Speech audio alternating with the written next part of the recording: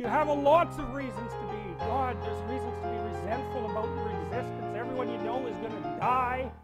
There's this idea that hell is a bottomless pit, and that's because no matter how bad it is, some stupid son of a bitch like you could figure out a way to make it a lot worse.